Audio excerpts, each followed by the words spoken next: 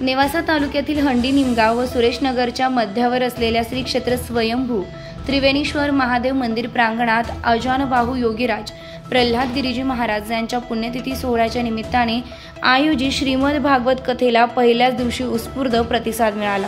भागवत कथा श्रवण केली तर आपल्या अंतकरणात भक्ती ज्ञान वैराग्य यामध्ये वाढ होते.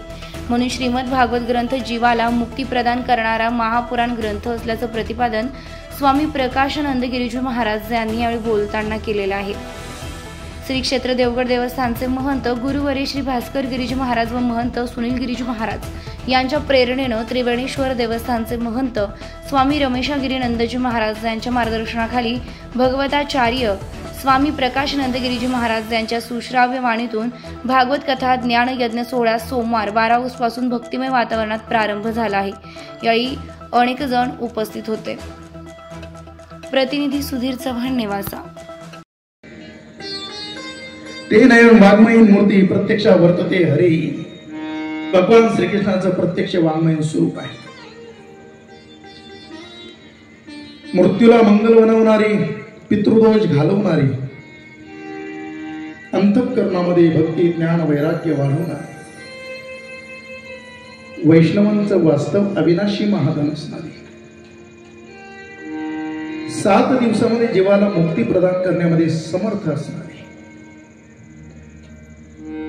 भगवान श्रीकृष्णांचं वाङ्मयीन हे स्वरूप असणारे श्रीमद भागवत कथा. कथा कथा कथा म्हणजे एक कथा आहे. किसे कहते हे कथा? कम सुखेन ब्रह्मेन स्थिरते यासा कथा. जी जीवाला ब्रह्म स्वरूपामध्ये स्थिर करते. तिला कथा म्हणतात जीवनाची जी व्यथा घालवते, तिला कथा म्हणतात आपण कथाचा श्रवण केली पाहिजे. कथा श्रवण करने से क्या लाभ हमें मिलता है क्यों सुनी जाती है ये भागवत कथा। क्यों सुनी जाती है ये राम कथा? बार बार इसे क्यों सुनना चाहिए?